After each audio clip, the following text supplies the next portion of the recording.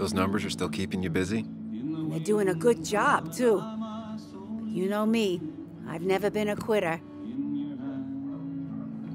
It feels strange being back here. I don't think I've been in your cafe in a while. Almost two and a half years. Anna kept coming in. But you stopped. You noticed that? I could tell you two dears weren't gonna make it. It broke my heart. It sounds like you knew before I did. Gotta have one eye on the customer and one eye on the books. Not that I really want to keep an eye on the books, mind you. Hmm. Uh, say, hun, would you mind if I finish this? Oh yeah, of course. Good luck with your book balancing. Mm-hmm. For the weeds have been steadily growing. Betting there'll be a few more cups before she leaves. Some things never change.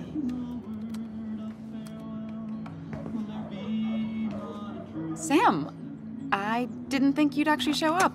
I didn't think I would either. But hey, sometimes we surprise ourselves. So, uh, I hear you got in a fight after I left the wake? It was really more of a scuffle than a fight. A bit of tit for tat. Oh, well, if it was just a bit of friendly fisticuffs. Yeah, I don't know if I could call it friendly. You haven't seen Dennis today, have you? Why? Afraid your powerful blows laid him up? So, what are you working on?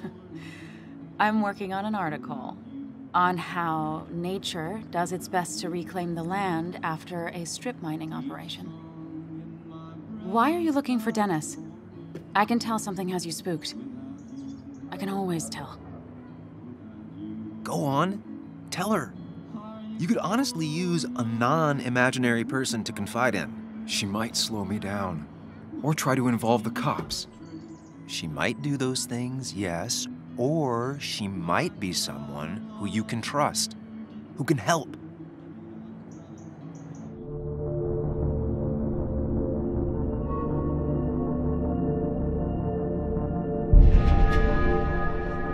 I woke up today and my shirt was covered in blood. Blood? What happened? I don't know. Last night, pills and alcohol mixed. It's all a blur. That's why I'm looking for Dennis. Have you tried the Basswood Jungle? He likes to work weekends. No, not yet. I'll do that right now. Sam, is there anything I can do to help? Oh, uh, nah. I'm just gonna do my own thing. oh, Sam. What have you done?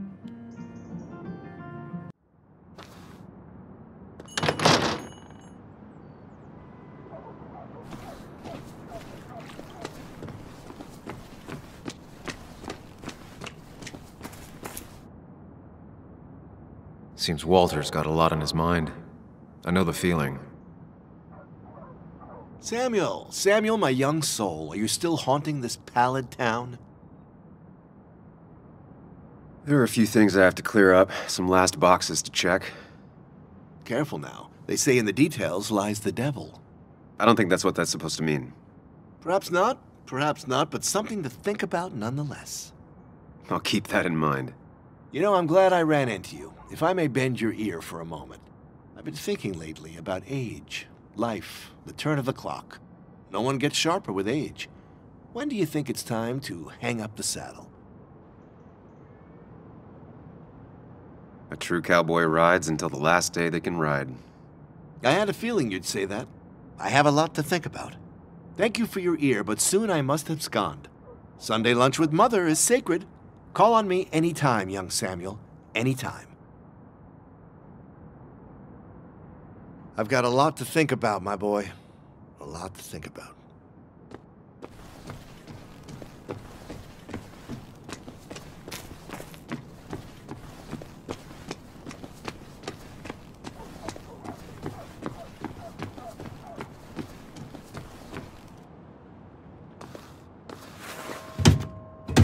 Locked. I should check the back. Look what we got here. Showing your face in town again. I thought you were smarter than that. But I'm glad we ran into you. We have unfinished business after all. Joel, look. Careful. I don't want to have this conversation again. We clear?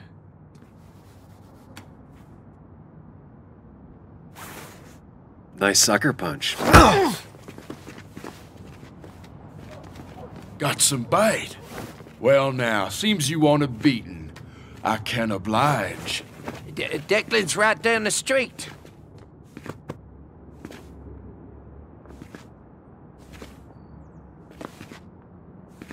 This is a small town. There's not enough room for you in it.